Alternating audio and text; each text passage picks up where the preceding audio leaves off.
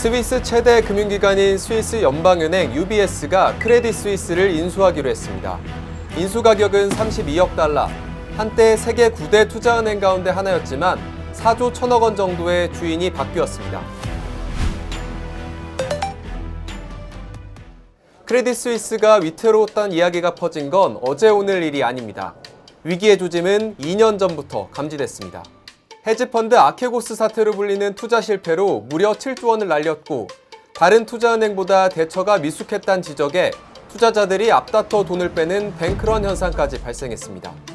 악재가 겹치면서 지난해 순손실은 10조 원까지 올랐고 주가는 1년 만에 4분의 1 토막 나면서 사실상 시장의 신뢰를 잃어버렸습니다. 최근엔 크레딧 스위스가 발표한 지난해 감사 보고서에서 중대한 약점이 드러났다는 소식이 전해졌고 최대 투자자였던 사우디 국립은행마저 발을 뺐습니다. 이렇게 되니 유럽에선 전운이 감돌았습니다. 제2의 리먼 사태가 유럽에서 시작되는 것 아니냐는 우려가 커졌기 때문입니다. 금융시장에도 대마 불사란 말이 있습니다. 금융시장에서 차지하는 규모가 큰 국가나 금융회사의 경우 망하도록 두게 되면 시장 자체가 망가질 수 있기 때문에 살릴 수밖에 없다는 의미입니다. Credit Suisse의 상황이 딱 이렇습니다. Credit Suisse의 총 자산은 750조 원 정도였는데 2008년 세계 금융위기를 몰고 온 Lehman의 파산 당시 규모가 700조 원이었습니다.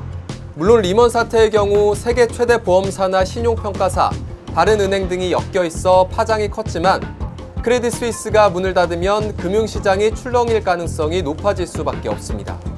UBS도 내키진 않았지만 이런 이유로 지갑을 열었고 이 과정에서 미국 정부가 적극적으로 협조했다는 이야기가 나옵니다.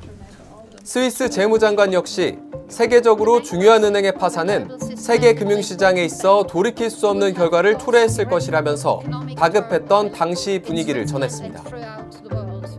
미국 실리콘밸리 은행이 문을 닫을 때 제니 젤런 미국 재무장관은 미국 은행 시스템은 튼튼하다고 밝혔고 라가르드 유럽 중앙은행 총재 역시 2008년 때와 같은 일이 벌어지지 않을 것이라면서 시장을 안정시키기 위해 안간힘을 썼습니다.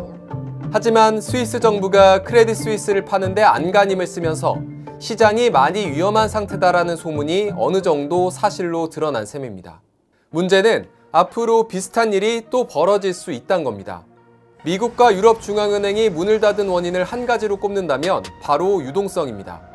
코로나19 여파 이후 시장에 돈이 풀리고 물가가 치솟기 시작하면서 미국 중앙은행은 기준금리를 공격적으로 올렸습니다. 1년여 만에 무려 4.75%포인트 올렸는데 전례가 없던 속도입니다. 이렇게 되니 시장의 돈줄이 마르고 튼튼해 보이는 대형은행에만 돈이 몰리는 money move 현상이 나타났습니다. 이 과정에서 제대로 자금을 운용하지 못했던 금융회사들이 하나둘 문을 닫게 된 건데 아직 통화긴축의 여파가 끝난 게 아니라 지금부터도 안심할 수 없는 상황입니다.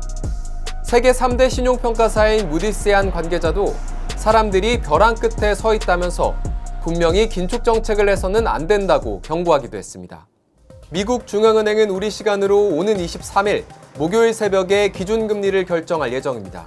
시장에선 빅스텝에서 한 발 물러선 0.25%포인트 인상을 전망하고 있는데 이런 시점에서 기준금리 인상이란 카드가 시장에 어떤 영향을 줄지는 지켜봐야겠습니다.